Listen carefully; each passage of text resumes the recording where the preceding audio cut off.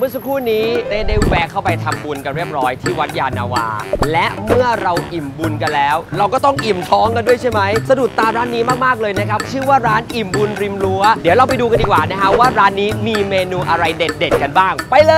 ย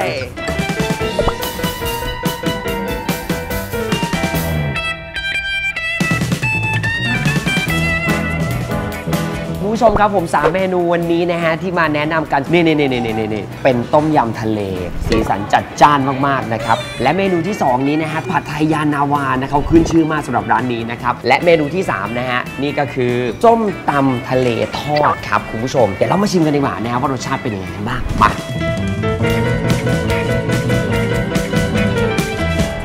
ผมบอกเลยนะครับว่าผัดไทยยานาวาเนี่ยเส้นเขาเหนียวหนึบมากนะครับ ซอสร้านนี้นะครับเขามีความกลมกล่อมมากๆนะครับ มีถั่วเข้ามาผสมเข้าไปในผัดไทยยานาวาแบบนี้เนี่ย มันไม่ได้มีความหนืดเลย มันจะมีความกรอบกรอบๆกรุบกรุบๆอยู่ในนี้ด้วย เรามาต่ออีกหนึ่งจานดีกว่านะครับ ส้มตำทะเลทอดนะฮะ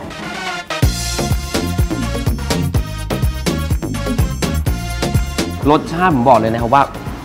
แซ่บมาก ใครที่แบบว่าชอบส้มตำนะครับที่รสชาติแบบจัดจ้านแซ่บๆแบบนี้ แนะนำสำหรับเมนูนี้ และอีกหนึ่งเมนู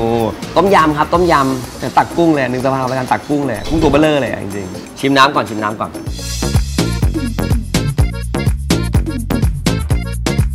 เอาอย่างนี้แล้วกันครับคุณผู้ชมครับ เมนูอร่อยๆสำหรับ 3 เมนูนี้ ผมอยากจะรู้แล้วนะครับว่าเขามีเคล็ดลับยังไงกันบ้างเดี๋ยวไปถามเจ้าของร้านนี้กันเลยดีกว่าครับ ตอนนี้เต้ก็นั่งอยู่กับเจ้าของร้านอิ่มบุญริมรัวแล้วสวัสดีครับ สวัสดีครับ สวัสดีครับคุณบอมนะฮะครับผมคุณบอมครับเมื่อสักครู่เนี้ยผมได้ทานหมดแล้วสำหรับ 3 เมนูนี้ ครับ ผมอยากจะถามในเรื่องของเคล็ดลับครับว่าทางร้านนี้มีเคล็ดลับยังไงกันบ้างฮะ คือทางร้านเราใช้ของสดใหม่ทุกวันครับ ของที่มีคุณภาพ ครับเพื่อให้ลูกค้าได้ทานของดีๆ ของอร่อย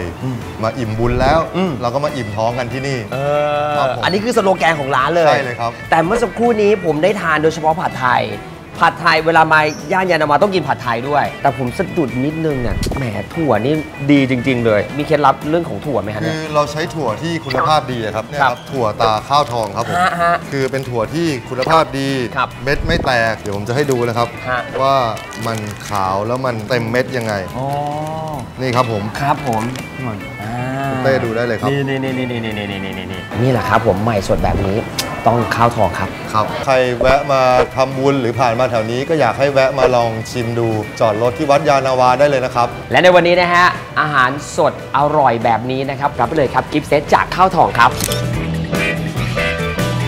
ในสัปดาห์หน้าเต้จะพาคุณผู้ชมเนี่ยไปลองลิ้มชิมรสที่ร้านไหนห้ามพลาดกันนะครับ เลือกคุณค่าเลือกคุณภาพเลือกตราข้าวทองครับ